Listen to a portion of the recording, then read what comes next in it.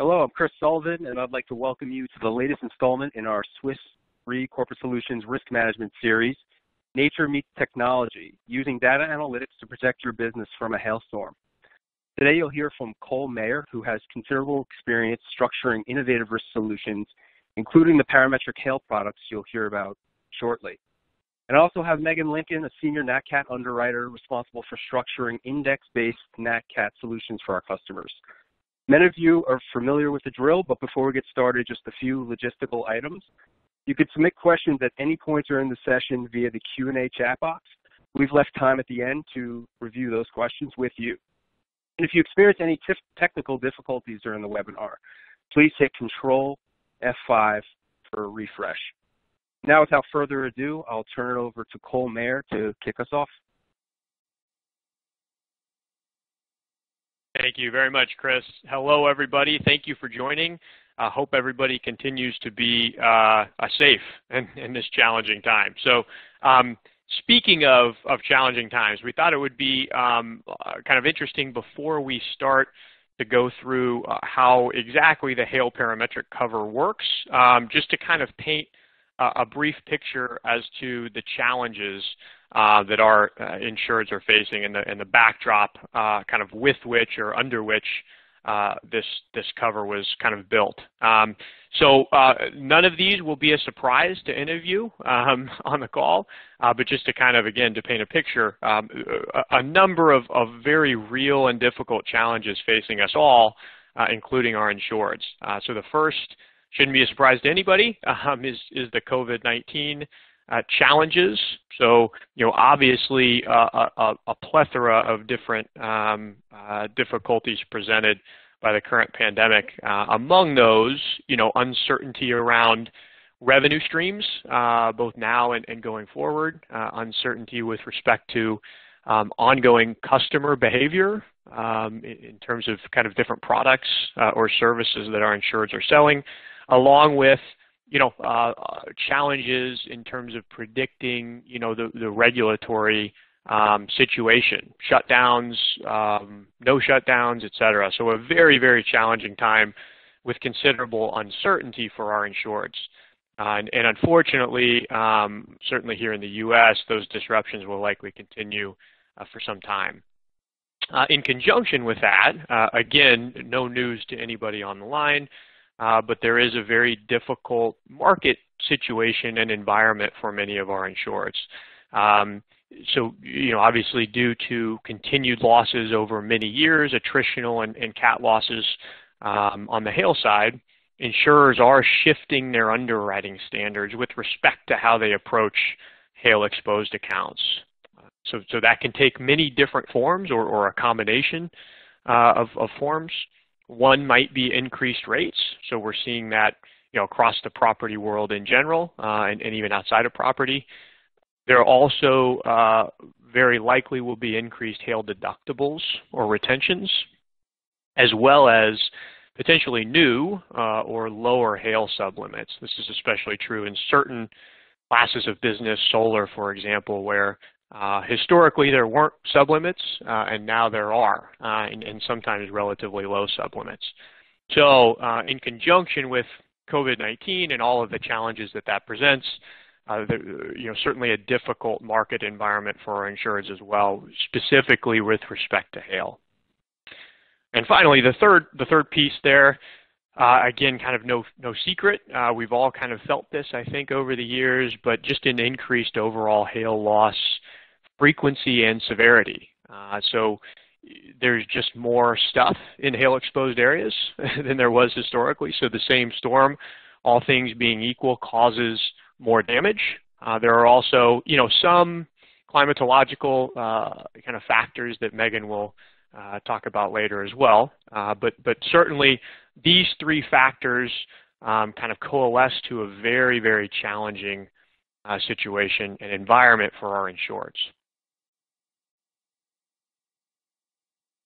So our contention is, and, and, and really our team's mandate, is to develop solutions to help our insured solve these emerging problems. So, um, uh, and what we'll kind of explore later is we firmly believe that parametric covers, parametric hail product uh, that, that we'll kind of outline for you briefly later, can help our insureds solve these problems uh, and, and to alleviate maybe not all of the pain, uh, but, but hopefully some of the pain associated with those problems. So, so before we go uh, into how uh, kind of the, the actual hail insurance cover works that we've designed, I thought it would be good to just briefly do a refresher on what parametric insurance is. Uh, so some of you may have joined our previous webinar that spelled out um, uh, you know, so how parametric insurance works, used a couple examples, did kind of a deep dive on hurricane and earthquake.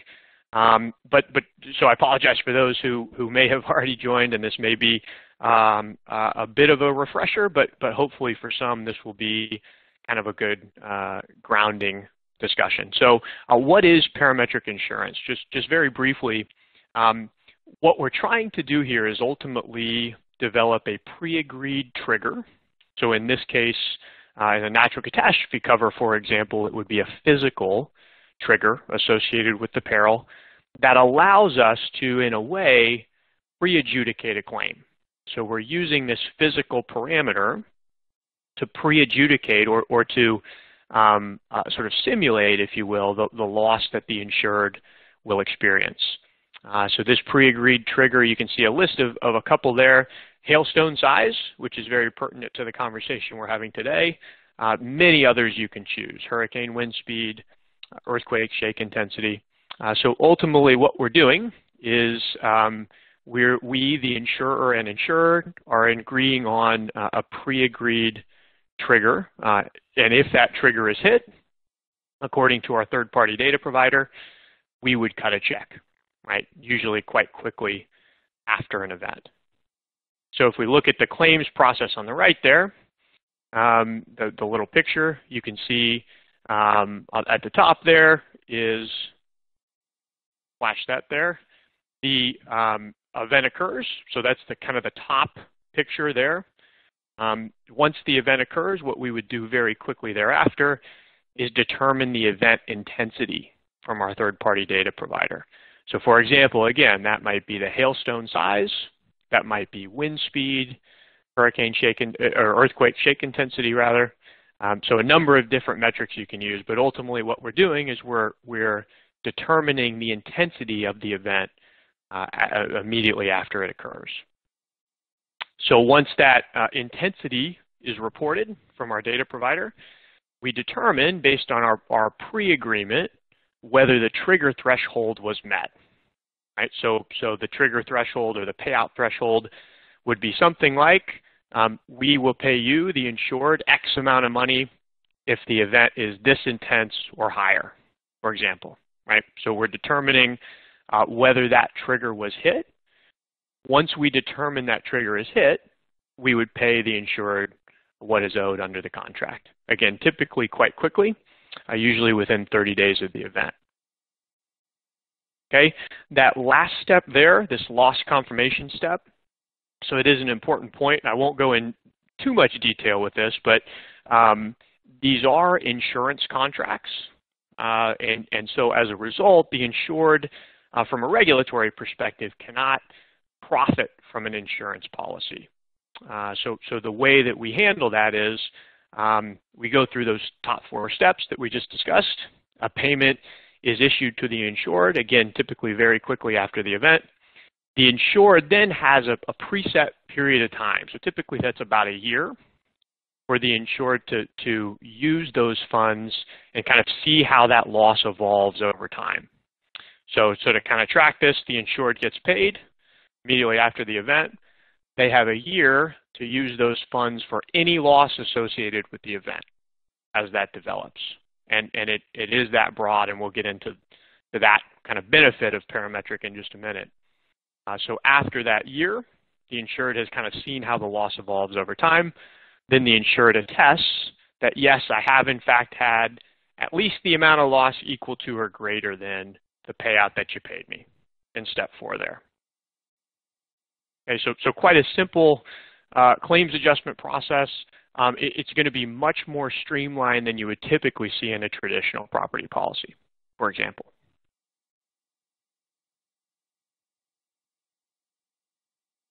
Okay, so if we look at uh, the typical, what we call backbone of a parametric insurance policy, so you can kind of see um, four steps there. Um, the, the first is we're defining a location or collection of locations. So that's um, simply put a latitude longitude point on the map. Right? We're also then defining a limit. So how much, uh, what's effectively the policy limit. Right? We're defining our data provider. Uh, so that's our independent third-party data provider, very, very important for any parametric cover. For our hail cover, we use CoreLogic, which Megan will get into in detail in a few minutes. Uh, but the key is picking a, a, a very dependable, reliable, uh, and granular third-party data provider. So that's a key component. The fourth step is developing a payout table. So we touched on that in the previous slide, but this is effectively how much we will pay you, the insured, at a given intensity. So you can see an example here uh, on the right. So this uh, is, is, in fact, the maximum hail size. So this is how we would approach, for example, our hail parametric product. And then the percentage of the limit at a given intensity or at a given hail size. Right, so, so typically what we would do with a payout table is we would scale it up as the intensity increases. Right? So as the intensity of the event increases, the corresponding payout would increase. So that sort of simulates, you know, as the intensity of the event increases, we would expect the insured to feel more pain. So as a result, we're going to pay more money. So these are kind of the four main components of really any parametric insurance policy that you might see.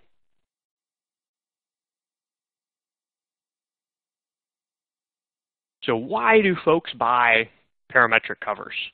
Um, there are kind of three main benefits, very high-level benefits. Uh, and within these, you can kind of use these benefits or features very creatively. And, and we'll talk about uh, a few of those in just a minute. Uh, but the three kind of high-level benefits are uh, the first is speed. So we've, we've touched on that again uh, briefly. Uh, but, but by pre-adjudicating the claim, again, with this pre-agreed trigger, what we're able to do is confirm that the loss happened or uh, confirm the intensity quite quickly after the event. Right? So um, with our with our data provider, we we know quite quickly what the intensity was. We can compare that to the pre-agreed uh, payout table very quickly, and as a result, we can pay quite quickly. Uh, typically, much quicker than your typical traditional property and pol policy might adjust. So what this means is a parametric insurance policy is actually a, a really great complement to traditional insurance. So traditional insurance, typically you can buy larger limits, um, et cetera, but it does take uh, a while longer to adjust, right? There's in a, in a cat scenario, there are typically, there's, there's pressure on adjusters. Um, it takes time, particularly for more complex claims, to adjust. Um, particularly the BI side of the claim.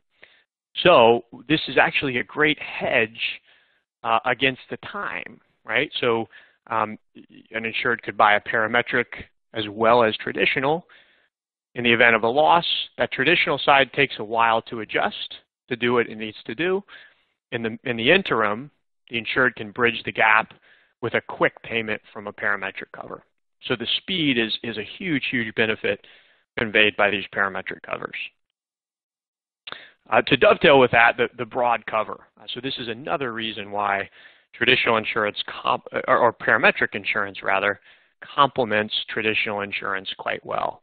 Um, so we, we mentioned this a little bit earlier, but once the insured gets uh, the payment, the parametric payment, they can use those funds for any loss associated with the event.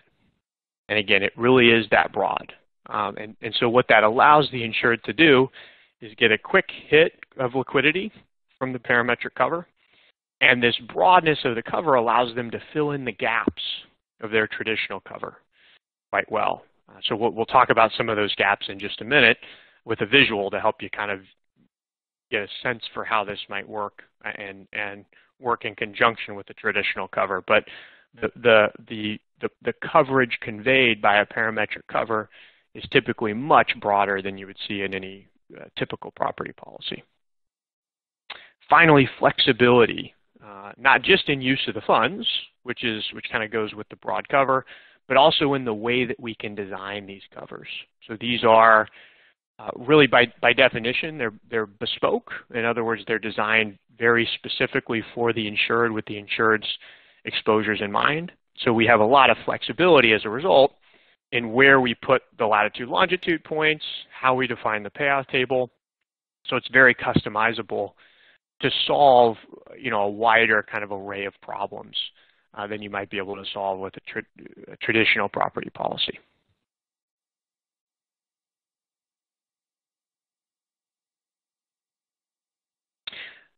So this slide here helps give you kind of a visual of what we were just talking about in the previous slide. So, so how can a parametric cover be used to complement a traditional insurance policy? Again, we think they work quite well together as part of a, if, if, if you will, a suite of risk management tools that you might have at your disposal.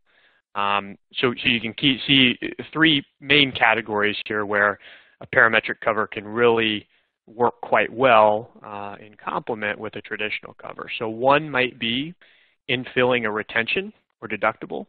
So if we go back to the current environment, right, insureds are seeing significant increases in retention or deductible. Um, to the extent that they're not comfortable retaining all of that, a parametric cover can absolutely help to supplement that deductible, the fun part of that deductible. So you can see that on the left-hand side of the screen. In the middle there, uh, limit as well. So a parametric cover can not just infill the deductible, but can also help sublimit, uh, or, or, supplement rather, a sublimit. Uh, so, you know, again, a fairly new phenomenon, these hail sublimits that are, that are creeping in. Um, a parametric cover can, can be sort of used to supplement that sublimit to the extent that there isn't quite enough limit available in the market. Finally, uh, cover excluded expenses. Uh, so there's a lot here. Uh, you know, as, as, many know who have been through a, a, natural catastrophe claim, there are there are expenses that sort of fall through the cracks uh, of a of a traditional property policy, uh, and uh, you know, a, a traditional policy can't cover everything and can't really contemplate everything. So there are expenses that fall through the cracks uh, or that are, are excluded, you know, because the, the traditional insurer just can't insure them. Uh, so you can see a few examples there. On the right, uh, you know, cosmetic roof damage, for example, on, on a real estate or habitational portfolio, um, or, you know, maybe a roof of a certain age that, that might be um, you know, provided cover at ACV instead of replacement costs, that type of stuff. Autos in the open, you know, a huge uh, exposure uh, and, and, sometimes excluded altogether, sometimes sublimited, uh, and, and, and, oftentimes very difficult to find coverage for those types of portfolios. Damage to outdoor property uh, that, that might be heavily sublimited or excluded. Uh, there's many others on the list. Uh, it, it's, it's really a, a, very comprehensive list, and, and, we learn new every day. But um, because of the broadness of the cover that we discussed, covering these excluded expenses that sort of fall through the cracks um, are, are one of the key benefits of a parametric cover. So with that, I'll hand it over to Megan, who will give you a, a sense for um, kind of the hail situation uh, in, in the U.S., as well as a, a nice description of how our hail parametric insurance product works. Thank you, Cole, and thank you everyone for joining this afternoon. Um, so what was what's our reason for why we decided to concentrate on the United States first? And the reason for that is the United States is fairly hail prone. Um, in 2019 alone, there were over there was over 20 billion dollars in insured loss from severe thunderstorm related perils, and that includes hail, tornado, and uh, straight line winds. And the uh, central part of the United States is particularly hail prone. And the reason for that is because of the geography and the topography of the United States. And the schematic that is currently shown on your screen is from uh, the National Weather Service, and it is relevant for tornadoes, or the context of the map is tornadoes. However, it's the, since tornadoes and hail both occur within the same phenomenon, which is severe thunderstorm, it is relevant for hail as well, and I think it kind of paints a, a really nice picture as to why the U.S. is as prone to severe thunderstorms as it is, particularly in the part of the country where they frequently occur. Um, to the north, we have Canada, and a lot of cold, dry air originates north north of the United States in Canada and gradually makes its way to the south. And then you also have air that originates over the Gulf of Mexico, which is going to be moist. It's going to be very warm. Water temperatures in the Gulf of Mexico are frequently between 80 and 90 degrees Fahrenheit. And that air is going to make its way north. And because there's no mountain range in the United States that runs from east to west, these two different types of air masses are able to collide. And when they do collide, the difference in both moisture or humidity and the difference in temperature leads to the formation of these severe thunderstorms. And these air masses are most likely to collide in the middle of the country in what is known as Tornado Alley. And that is what is shown in the red footprint there. And that's also where we get these severe storms that generate uh, significant hail size. So it's for that reason that we both have hail that occurs in the United States and it's and the where these air masses collide is also why the central part of the United States is particular, particularly prone to damaging severe thunderstorms, damaging hail, damaging tornadoes. So Cole gave a really great background as to how parametric products worked, how we, how we see the proceeds used, but how do we go through the process of actually structuring a hail cover? Well, the first key to structuring any parametric product, including our hail parametric product, is to know exactly where your assets are located and know how much insurance you want you would like to purchase. So that way we can allocate limits and commonly we see limits for this particular product in the uh, low six digits to low seven digit range, so 100,000 to a million. So we need to know where exactly to allocate them and where to monitor for hail occurrence. And we refer to these as trigger locations. These are commonly provided as latitude longitudes, and these reflect where you are exposed to hail. The next thing we need to do is design the payout table, which Cole touched on a few slides ago.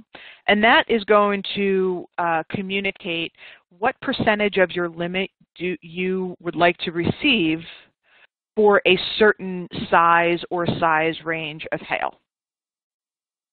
And this is going to vary. Sometimes we have very, very, um, we have very uh, stretched payout patterns where in some instances we see clients want um, a small percentage, 5 to 10% every uh, quarter of an inch, for example. Other times we might see 25, 50, 75, 100% for every quarter of an inch. So these payout tables are very flexible and they can be designed to suit your particular needs and give you a portion of the limit depending on what your intended use of the funds is and how you might see them to be most beneficial. So we designed these two, we designed the limit allocation, the trigger locations, the payout table prior to the contract incepting as we're having our early conversations. And then after an event, um, we would pull the hail verification report from the team at CoreLogic and determine at the trigger locations that were defined earlier how large the hail size was. And then based on that maximum hail size at your location, we would determine what percent of the payout is due and would transfer those funds to you. Um, and then the funds could be used for any purpose that you saw fit for losses that were related to the event. Uh, and as Cole mentioned, uh, to adhere to U.S. insurance regulations, we then have a true-up process that lasts for approximately a year, where it allows um, the insured to demonstrate that they received funds that were not necessarily in excess of their actual incurred loss. So we partnered with CoreLogic on this initiative because Swiss Re has had a uh, very good working relationship with CoreLogic for a number of years, and they really are a leader in the natural catastrophe monitoring, risk assessment, and observation space. And in partnering with CoreLogic, we were both able to access their NatCat model for severe convective thunderstorm in the United States and receive information on hail probabilities. And CoreLogic has designed their hail probabilities based on both historical hail events and U.S. severe thunderstorm climatology. So we use them for both the uh, risk assessment phase of our product development, and we use them for their the post-event reporting as well. And CoreLogic has developed a proprietary algorithm that combines uh, radar data based on uh, radar signatures and radar images uh, you can determine if hail is falling in a thunderstorm, and if so, how large it is.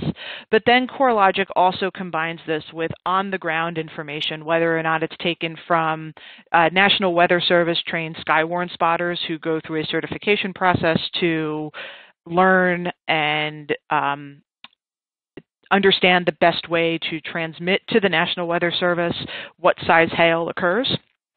Uh, there's also information in the news media, and then even social media can be an important so important so source of weather observation information if the photos that are uploaded are geotagged with a uh, and timestamped as well to act as a further piece of verification information.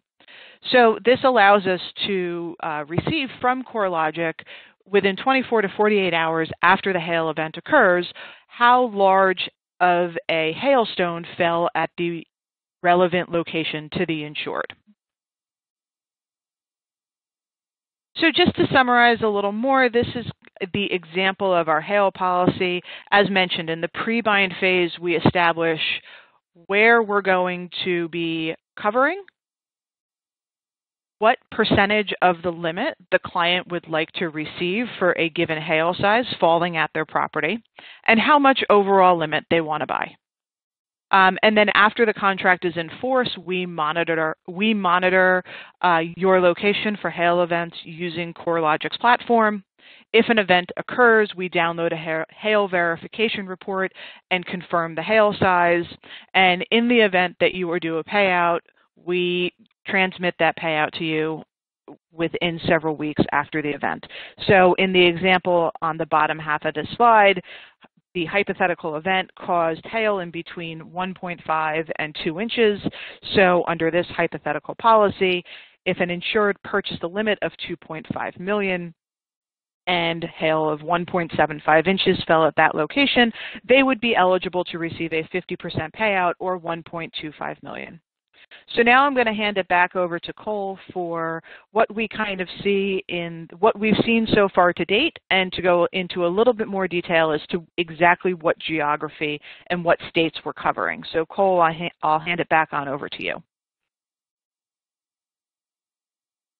Thank you, Megan. I appreciate it. So um, I'm going to go through this slide and give a little bit of background on some of the key info for you to know uh, with respect to how we're approaching this, this hail parametric cover, uh, as well as get into kind of where we're seeing some success. So hopefully you can get a, a feel for where these are sort of landing, if you will. Uh, and I'm going to do my best not to talk too much and leave as much time for questions uh, as I possibly can here. So um, the, the first piece is availability. So that's a, obviously a natural question. Um, you can see a map there on the right with blue states, states that are kind of highlighted in blue. Um, no surprise, this corresponds quite well with Megan's slide a few, a few slides ago in terms of where we typically see the most significant hail. And, and for those of you who, who deal in the property space, these, this choice of states won't be a surprise to you, right? So you've got Texas down on the south, Texas and Oklahoma, um, obviously Kansas, Colorado, and then you kind of go up to South Dakota, and Minnesota, um, Iowa, Missouri, uh, and a little bit further east from there. And, and so um, this is currently where we have the ability to price uh, and, and, ultimately uh, de deliver event reports. So these 11 states. Uh, so again, this should take care of I would say the vast majority of insureds who, are, who would seriously consider uh, a parametric option uh, in, in terms of hail. And you can see the list of states down there on the bottom as well. In terms of target classes of business, I'll go into to this for, for just a minute to give you a feel for where we're seeing interest and, and where we're executing these deals.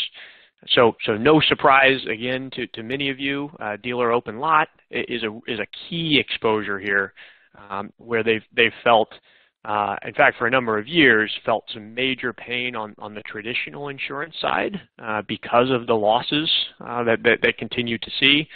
So it's very difficult over there to get uh, adequate limits, and the retentions tend to be very high, uh, and the pricing tends to be very high. And so uh, this is a very natural place uh, to plug in a parametric as a supplement to what's available on the traditional side. So the dealer open lot space, we're seeing a, a lot of interest and quite some success in terms of actually executing deals. Um, solar is another. Uh, so solar is a is a following a couple big losses last year, very sizable losses in Texas and I believe North North Carolina. Um, they're seeing a lot of disruption in in their market and in their space. So that includes um, really kind of all of the above uh, in terms of what we explored on on slide three there. They're seeing increased retentions. They're seeing significant hail sublimits.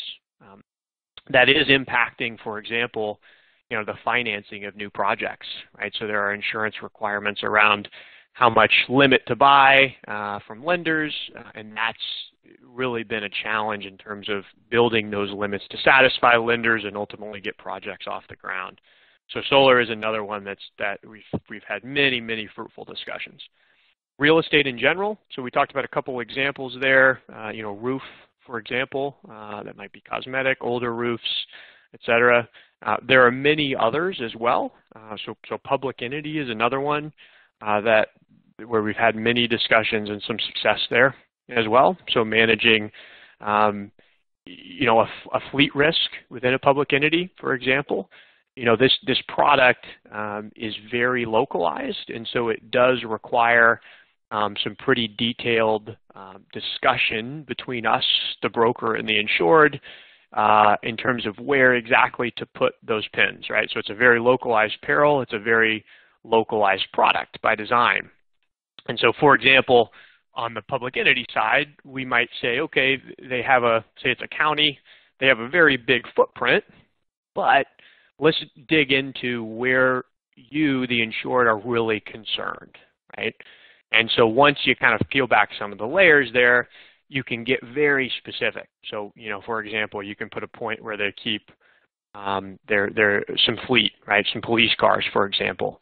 A point where they know they have maybe a susceptible roof, right? So um, the, the, one of the keys to this product, particularly when you're dealing with schedules, um, is getting very specific uh, with the discussion with respect to where the insured is really concerned and where the insured really has that exposure. Because it is a very localized peril and, and as a consequence, a very localized product design. So in terms of available limit, um, we at this point uh, are comfortable putting out up to two and a half million per location or site. Um, so maybe just to elaborate on that a little bit, uh, for insureds who have, for example, you know, multiple um, different kind of geographic areas of exposure, you know, we might be able to, to do, for example, you know, one, two, two and a half million in one geographic area, and then, you know, uh, one or two, two and a half million in another, right? Provided that it's sufficiently far away, right? So, so this is sort of an accumulation in a given um, uh, kind of exposed area, if you will. Uh, so, you know, it, it, we, we certainly realize that it's not, uh, these limits aren't massive, um, but for what the insureds that we discussed tend to want to use these for, uh, primarily supplementing traditional insurance, it actually can still be very powerful uh, in, in, terms of how they can be used. So a, a ballpark, this, this is always the million dollar question, um, ballpark rates online. Uh, so this is very, very kind of rule of thumb. Okay, so, so these can vary, these rates online can vary significantly based on the geographic area, so, so where you are, right? So for example, North Texas, Oklahoma, kind of the heart of Tornado Alley that, that Megan mentioned a few slides ago, that's going to be considerably more expensive than an equivalent payout table, you know, in, for example, Minnesota, right? Uh, so it's it's it's going to vary very significantly depending on the geographic area. It will also vary based on the payout table you choose. Right? So if you have a payout table that attaches quite low, right? So so you know meaningful payouts in say the you know 1.25 inch range, uh, right? It's a little bit more frequent. It's going to be more expensive, right? So you have a more sensitive, lower attaching cover. Uh, so it's going to be correspondingly more expensive. Uh, and, and the converse is also true. So if you if you raise that those payout thresholds, that would then decrease the price. So pricing is, is very sensitive to those two kind of key components. Uh, and by rates online, you, we simply mean premium divided by limit. Right? So that's that's kind of what we mean by by rate online, just to kind of give you a flavor. So um, a, a, a, very rough range. Uh, you know, this isn't this isn't cheap, right? So so just to kind of manage expectations there. Um, it's not, uh, you know, going to be, for example, considerably cheaper than traditional cover. It just behaves differently, right? And, and so that's why they actually complement each other quite well. But we also want to just manage expectations from, from that perspective. So a, a rough range, to, to just give you a rule of thumb, would on a net basis would be a 7% rate online range, kind of on the low end, to it can be as high as 18%, almost 20% um, on the high end. And that so that 18% would be, for example, you know, for a, a, a kind of standard payout table in Oklahoma City, right? For example, so that would be uh, about as exposed as you can get in geographically, and, and not a super high attaching cover. Uh, and then it obviously would kind of adjust down from there. But just to give you a rough range uh, in, in, terms of expectation, as you have conversations, you know, with, with your management team on the insured side uh, or uh, with, with your clients on, on the broker side. And we're happy to explore this in more detail with respect to specific account exposure. So with that, Chris, I hope I've left enough uh, ample time for questions. Look forward to, to the question piece. I'll hand it back to you.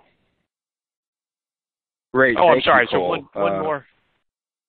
Yeah, sorry, Chris. I, I forgot the, the next slide there. Yeah, I'll, I'll, give a quick plug for the, the IRS team. My, my apologies there. Uh, so this is our innovative risk solution team here in the States. Uh, and, and so uh, we have representation on the East Coast. Um, so so uh, Bob Nusslein, who heads up our team, sits in New York, as well as Todd Chima. Uh, we have Yusuf um, uh, Baki up in Toronto, so we actually have a Canadian presence as well.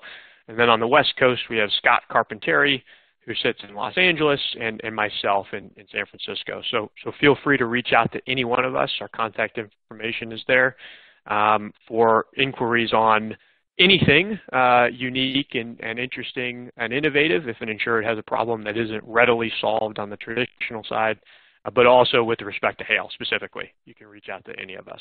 So Chris, with that, I'll, I'll hand it over to you again. Sorry about that. No, it's great. Thank you, Cole. Appreciate that. And uh, and Megan, thanks to you as well. That was fantastic. Uh, we're going to go into Q&A. A lot of questions have come in. Um, and just note, on the line with us, we have Curtis McDonald. Curtis is a senior product manager with CoreLogic. So if there are any questions related to CoreLogic or their methodology, Curtis is available to answer those. Uh, Cole, I, am going to turn the first question over to you. You kind of left us with um, some discussion around rate online. So we had a question around uh, minimum premium. So what is the minimum premium uh, for this product? Yeah, that's that's a good question, Chris. So um, generally speaking, as we talked about, these are more customized products. So as such, it, it does take uh, a bit more heavy lifting than maybe your typical traditional deal might, both for us as well as for our brokers and our insureds. Uh, so collectively, we, we just want to make sure that that um, time is well compensated. So, so generally speaking, Chris, we would say a $100,000 minimum premium. Hopefully that helps. No, it does. Thank you. Thanks, Cole. Um, Megan, uh, I think this one will be near and dear to your heart. There's a question about uh, the correlation between climate change and, um, and hailstorms. Thank you, Chris. Um, so currently, there's no research that has been published in any sort of in any sort of peer-reviewed academic journals that suggests there's a strong link between either the frequency or severity of hailstorms and climate change. Um, hail, tornadoes, are very noisy perils, meaning that uh, there's a lot of variation in them from year to year. It's only probably been in the last 30 or so years that we even have the technology to reliably detect all storms that produce hail and tornadoes and not just the ones that we people on the ground have physically observed. So it, it's difficult to extract trends of changes in observational technology from actual physical trends due to climate change. But so far to date, there haven't been any peer-reviewed studies that suggest there's any sort of strong correlation between severe thunderstorm activity in the United States and climate change, either presently or in the future. Thank you, Megan. Uh, the next question um, is related to, uh, Cole, I'll turn this over to you. So can we provide a hail parametric product for a portfolio of risks? That's kind of part one. And then part two would be just kind of adding on another question here around, have you found the $2.5 million limit um, sufficient enough to cover uh, the typical franchised auto, auto dealer's inventory? So part one, again, you know, how do you handle kind of the um, a portfolio? And then part two, how have you found the limit to be the $2.5 million limit, the sufficiency? Absolutely. Yeah. Thanks, Chris. So uh, with respect to the first question, the portfolio of risk, that's a really great question.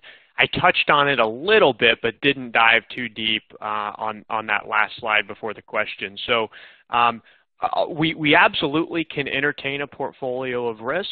Um, but there's kind of a, a, a, very specific way we need to attack those. So we talked about this a, a little bit before, but hail is very, very localized, right? So, uh, and, and for those of us who have lived in, in the Midwest, or, or you know, many on the phone know the peril if you haven't, um, you know, it can, you can see very significant hail um, you know, sort of down the street from my house, for example, uh, and, and I might not get hit very hard at all, or vice versa, right? So, so the peril is, is sort of hyper-localized in this way that it, it, in a way that earthquake or hurricane, for example, might not be.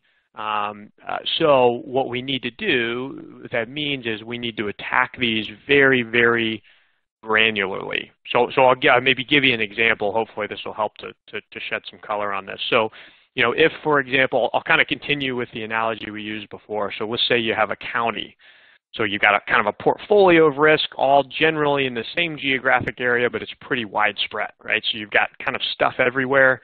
Um, uh, what we would try to do is say, okay, let's let's go much deeper in terms of where the insured is actually concerned, right? So rather than trying to digest and, and kind of eat this elephant, so to speak, right, of, of this huge portfolio of stuff everywhere in this county and trying to figure out where to put the, the different lat longs, what we might say is let's sit down and have a discussion around, you know, you as the client know your risk very well.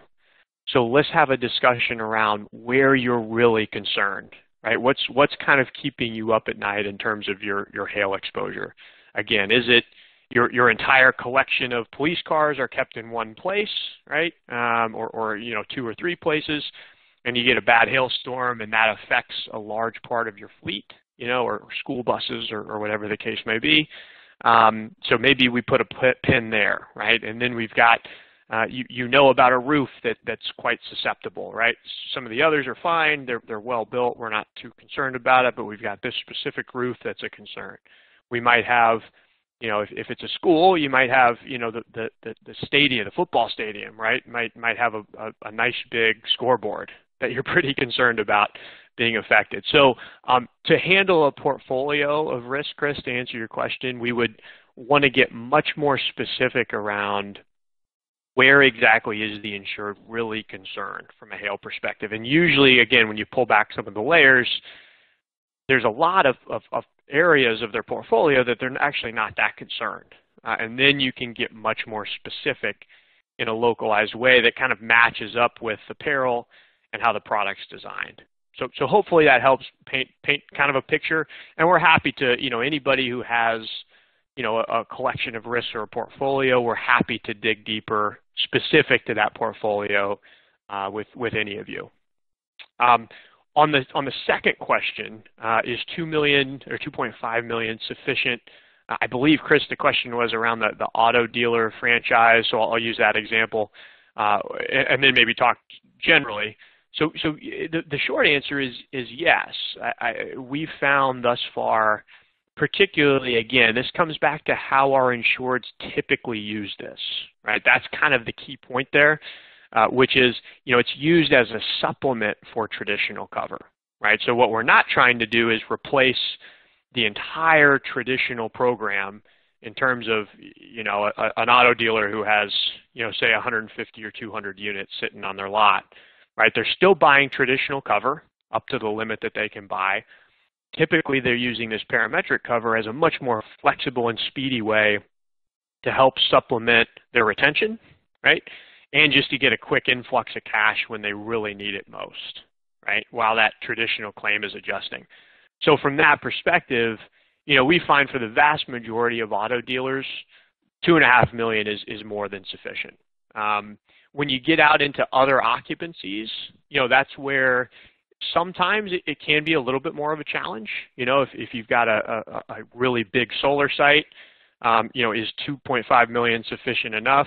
Um, you know, that it, it's definitely a question. However, very often the conversation as well, you know, it's, it's certainly it's still a tool. It's certainly better than than no cover, right? So that's kind of the alternative, uh, unfortunately. And so you know, while it, it, while our insureds on that side might say, yeah, we would really love more, very often it's still, well, two and a half is still actually meaningful to me. So as you extend out of auto dealers into other segments, we're finding that the two and a half million is still much more often than not very meaningful for our insureds. Hopefully that answers the question, Chris. Yeah, thank you very much, Cole. Uh, Megan, I'm going to have uh, a question for you, and then Curtis, uh, following uh, my question for Megan, I'll have I'll have one for you. There have been a number of questions, Megan, around um, expanding kind of our our offering footprint into Canada uh, and and outside of North America. So we have questions around Canada, Mexico, and then outside North America. So can you talk about uh, any plans in the works to expand this beyond the current footprint the solution is offered in? Sure. So thanks, Chris. Um, as I mentioned, kind of due to both the demand and the high frequency of hail in the United States, that's why the area of the United States and the 11 target states were selected and focused on in the first round. Um, but we certainly know that hail can affect many more locations than just the one that Cole had highlighted on the map. Um, I think our, our next logical expansion is going to be to Canada. Given the uh, frequency and severity of hail events up there, I understand there was recently a pretty severe hail event in the province of Alberta. Um, so to me, that's the next next logical expansion location, and I would say beyond that, we don't necessarily have a timeline or a geographic priority list. Um, although we are aware that there is both interest and uh, demand in certain European countries, parts of Latin America, and Australia as well. Great, thank thank you, Megan. And I think for the audience, uh, just you know, expect for us to update you as this product, the footprint of the product offering grows. We will uh, we'll make sure to keep everybody apprised of that. Uh, so Curtis, a question about CoreLogic here, um, and the question is, what is the resolution of data that CoreLogic is using to define the trigger? Yeah, that's a, great question. So uh, we have uh, developed, as, as Megan uh, hit on, a proprietary algorithm that uh, really accumulates a, a, variety of different uh, quality of, of, weather data. So whether that comes in from the, the National Weather Service's Weather Radar Network with the dual pole uh, weather radar networks across the U.S., um, whether it's a ground observation coming in from a, a source, whether it be social media, or maybe even a ground sensor that that uh, technology is now advancing to where you actually are deploying sensors to measure hail sizes. Um, so all of those work into our, our algorithm and we output a resolution, we output that data, uh, the forensic data of what actually did happen on a five, uh, 500 meter resolution. Uh, and that does allow us to go in and ping um, and get uh, you know real granular information, uh, really all the way down to the, the property level in terms of the, the maximum hail size. Great. Thanks, Curtis. Appreciate that. Um, and so, Megan, how about one back over to you? Um, do you need to buy a traditional uh, property policy in order to buy a, a hail parametric? No, hail parametric policies can be written on a standalone basis. Uh, this holds true for all parametric policies. We have uh, executed deals where the client only buys a parametric cover and it is perfectly acceptable to do so. So even if you don't purchase traditional indemnity cover from us or you don't purchase traditional indemnity cover to cover that specific peril, you are able to and we can work together to design a parametric hail product that suits your needs. Thanks, Megan. Do you mind if I stick with you for one more here? There's a question about um, the underwriting uh, information needs. So the question is, is knowing the roof square footage a necessary underwriting item? For parametric hail, no, because um, and this this holds true for any parametric product. When we when we underwrite a parametric product, the main component that's going to play into the risk assessment is going to be the probability of an of a given event occurring, whether or not that event is a hurricane, an earthquake, or a hailstorm. So the key piece of information that we need to determine the probability of a severe hail, earthquake, hurricane event occurring is where your location is located that's going to be the underlying driver of the risk assessment and ultimately the price. Places in Florida are much more exposed to hurricane than places in Maine, just like places in Oklahoma are much more exposed to hail than in Massachusetts. Great, thank you, Megan. Uh, Cole, now a question over to you. How do you determine the appropriate payout table? Yeah, really good question, and this this dovetails actually quite nicely with with uh, Megan's last answer uh, in the, the previous question. So um, the, the short answer is we work very closely together with the broker and the insured to to design a payout table that makes the most sense for the insured. Now, how do we actually do that? So so there's many different ways.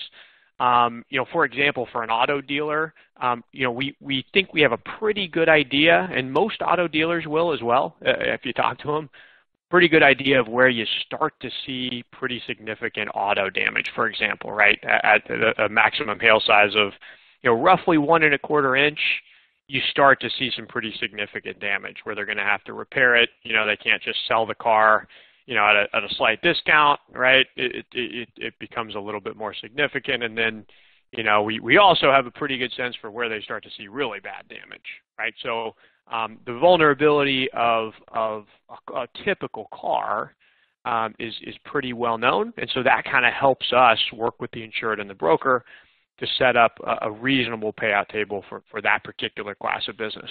I'll give you another example on the solar side you know, typically solar manufacturers will have uh, in their specifications, they'll, they'll give a, a, sense for where the, the hail size at which you might expect to start to see significant damage to a panel, right? Um, and so that that kind of underwriting information, while Megan's spot on that it doesn't actually impact the, the, the risk assessment, but what it does help us do is set up the payout table in, in a way that makes the most sense for the insured um, and in a way that, that, that minimizes a risk that we call basis risk or, or the risk that the parametric payout doesn't match up with the insured's loss, right? And, and we, we try to match those up uh, as, as closely as reasonably possible. Uh, it's, it's never going to be 100%, uh, but, but you know, we try to use the data available in working with the insured and the broker to design those such that they make sense for the underlying risk,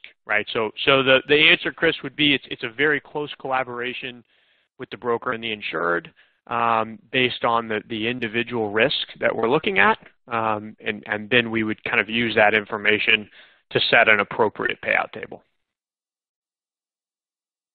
Great, thanks, Cole. Uh, Megan, uh, is the the traditional property loss payment reduced from what is collectible on the parametric cover for the same event payout? No, um, we've worded our we've worded our contracts so that they function as a very broad difference in condition cover, or differences in condition cover, um, and we do not make the payout contingent on inuring to any sort of traditional uh, property policy because in general, as Cole mentioned earlier in the conversa conversation, parametric cover can cover a much broader range of incurred losses than a traditional property policy. Cole, one for you now. Uh, is a policy written on uh, an annual aggregate and or occurrence limit? And how often are typical policy terms offered for? Yeah, good question. So um, as of right now, we're only considering single year. Um, so for our typical parametric policies, so hurricane and earthquake, for example, we very frequently execute on a multi-year basis. Um, for hail, you know, this is a brand new product. Uh, we do want to walk before we run. Uh, in other words, I, I, would love to be able to come to the market next year and say we can offer more instead of um, we we uh, we ran too too fast too quickly and we stumbled and now we actually have to pull back. And so you know when we launch these new products we are fairly careful. We, we want to learn together with our clients. Um, and, and, so uh, the, the, the short answer is we only offer one year at this point. Uh, we hope in the future that will change as we get a bit more uh, comfortable build a little bit more of a portfolio. So single year right now um, and these are typically structured as aggregate limits, right? So, so it's effectively the insured has one shot at the full limit in a given policy year. Um, now, if, for example, you know, you saw the payout table earlier, if, for example, the insured has a 25% loss, right, uh, in a given hailstorm, they would still have 75% left right? So, so if they have a partial loss, they still have a part of that aggregate left for a future event, but typically it is aggregated uh, to, to kind of one times the occurrence limit, if you will. Cole, thank you so much for that. Uh, we have a number of questions that we didn't get to. We didn't have time to get to during Q&A, so we will respond to you each individually um, in the coming week. Um, Cole, Megan, uh, thank you so much for your presentations, um, and Curtis McDonald from CoreLogic for joining us to answer questions during Q&A. Uh, great job. I, I, hope the audience found that very uh, to be very insightful. Um, we will have a recording available to you uh, in the coming days if you want to listen again or share with any colleagues who might have interest. And in the meantime, please feel free to reach out to me or any of today's presenters with questions we'd be more than happy to continue the conversation with you. Um, and if you have just a few moments here, um, and you could complete a, uh, a, survey to let us know what you thought of today's uh, session, it would be greatly appreciated. Um, so for the month of August, we're going to take a brief summer break from webinars, um, but we're going to pick right back up in the fall with uh, a couple of events, largely based on the feedback that we've collected through these uh, through these webinars. First will be on September 9th on the topic of claims fraud. Uh, and then again on September 23rd, we're going to take a deep dive into parametric solutions. So we'll go, um, you know, we had a parametric webinar uh, several weeks back. We're going to go deeper with more case studies um, and detail into that solution set. So stay tuned for invites. Please keep an eye out on the Corp Swiss Re Corporate Solutions LinkedIn account. And thank you so much again for joining us. Um, we hope to speak with you soon and enjoy the rest of your week. Take care.